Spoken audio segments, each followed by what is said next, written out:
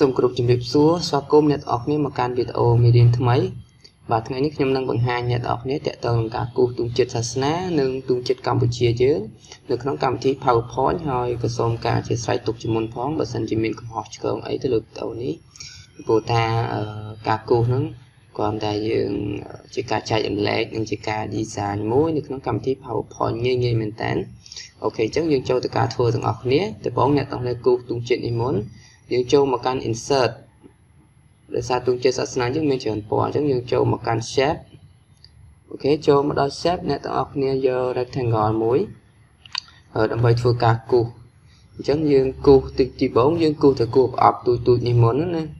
ចាទូជាសាសនាយើងខាងស្ដាំហ្នឹងមានប្រអប់ទូទូចអូខេអញ្ចឹងយើងអាចគូសប្រឡោះនឹងមុនមកយើងយកប៉ុណ្ណឹងមក តមកទៀតអ្នកទាំងអស់គ្នាដាក់ពណ៌វាចូលទៅកាន់ format ហើយ color ហើយបងយើងដោះពណ៌បន្ទាត់សិនសំទោសយើងដោះពណ៌បន្ទាត់សិនបន្តមកទៀតអ្នកទាំងអស់គ្នាត្រូវធ្វើការអឺចូលទៅកាន់កន្លែង color ទៅនេះនេះកន្លែង color បន្តមកទៀតយើងយកនេះអឺខ្មៅដៃហ្នឹងចម្លងពណ៌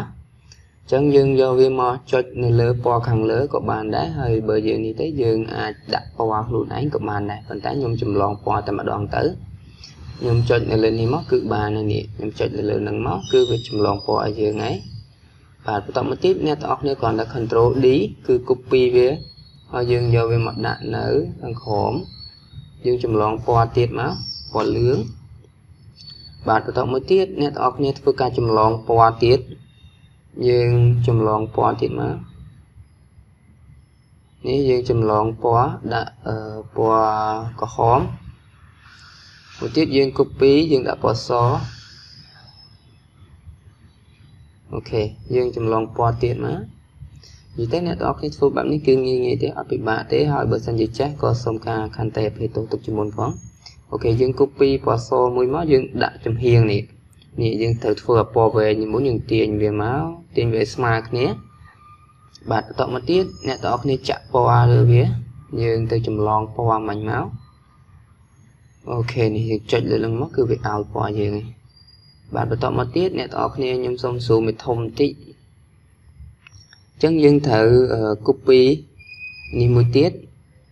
យើងដាក់ពណ៌ឲ្យដូចពណ៌នេះដោយសារពណ៌ហ្នឹងគឺវាដូចគ្នាអញ្ចឹងយើងចម្លងវាមក OK នេះយើងមកចុចលើនេះមកគឺបានហើយយើងទាញអានេះវែងមកគឺស្មើគ្នាហើយឃើញទេបាទខ្ញុំខិតអានេះតិចវាឡើងទៅលើអូខេខ្ញុំ copy វាមកបាទបន្តមកទៀតនេះខ្ញុំបង្ខិតអានេះបន្តិចក្រោមបន្តិចឲ្យវាស្មើគ្នាបាទបាទ OK អញ្ចឹងប៉ុណ្ណឹងអឺសុំទោសទៅលើវិញបាទស្អាតទេប៉ុណ្ណឹង OK អញ្ចឹងយើងចម្លងដាក់ពណ៌សលេងនេះមកអញ្ចឹងអ្នកទាំងអស់គ្នាចូលកន្លែង color ហើយយើងដាក់ពណ៌សក៏បានដែរយើង copy មួយទៀតយើងដាក់ពណ៌ក្រហមអូខេយើងចាក់ពណ៌ក្រហមចូលហើយយើងធ្វើការ copy មកទៀតមកយើងដាក់ពណ៌លឿងចូលម្ដងនិយាយទៅវាអត់មានអីនេះទេវាសាមញ្ញដែរទេគ្រាន់តែខ្ញុំធ្វើចង់បង្ហាញអ្នកនរគ្នាណាអូខេបន្តមកទៀតយើងចុច copy មួយទៀតមកយើងដាក់មកពណ៌ទៀតគឺហើយហើយបានយើងដាក់ពណ៌ហៀវអូសំទោសច្រឡំអូខេយើងថយមកវិញ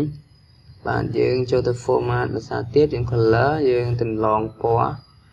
នេះអញ្ចឹងយើងបានប៉ុណ្ណឹងហើយបាទបន្ទាប់ពីបានប៉ុណ្ណឹងហើយអ្នកទាំងអស់គ្នាត្រូវធ្វើការចុច បង្ខាត់អានេះខមតិចឲ្យវាស្មើអូខេអញ្ចឹងយើង control G លើវាមកយើងចងជាគ្រប់អូខេចងជាគ្រប់មកគឺបានហើយយើងរួចរាល់ហើយការងារយើងមានប៉ុណ្ណឹងទេគឺស្អាតហើយបាទនេះយើងចង់ចូលដល់ទី2អ្នកទាំងអស់គ្នាគូស រូបទង់ជាតិនេះទី2ទង់ជាតិនេះគឺស្រួលគ្រូទេទង់ជាតិកម្ពុជាយើងមានរូបអង្គតែដោយសាររូបនេះខ្ញុំ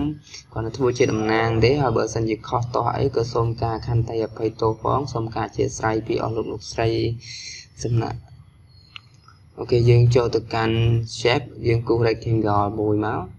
យើងគូសប្រអប់ប្លន់នេះមុនអូខេយើងគូប្រអប់នឹងមកហើយបន្តមកទៀតអ្នកទាំងអស់គ្នា copy វា យើងដោះពណ៌បន្ទាត់ចេញ shape outline យក no OK យើង copy យើងធ្វើការ copy បន្ទាត់ហ្នឹងមកហើយយើងបង្រួមវាវាប៉ុណ្ណា fill ហើយអ្នកទាំងអស់គ្នាដាក់ពណ៌ក្រហមចូលមកគឺបានហើយទាញដាក់ចំលោះកណ្ដាលណា OK តមកទៀតយើងចាប់ដើមចូលទៅកាន់ insert ម្ដងទៀតយើងចាប់ដើមគូស អឺនេះនេះនេះគូសនេះដើម្បីធ្វើជារូបតំណាងឲ្យរូបប្រាសាទអង្គរវត្តយើងមានកម្ពស់3អូខេដោយសារតែខ្ញុំគូគាត់តំណាងទេយើងទាញវាធំតិចមកចង់ខំឲ្យខ្ពស់ជាងគេមកយើងអាចគូកម្ពូល5ឬក៏យើងអាចគូក្បាច់បានទេដោយសារវាគូអត់កើតអញ្ចឹងយើងគ្រាន់តែដាក់ប៉ុណ្ណឹងមកបាទ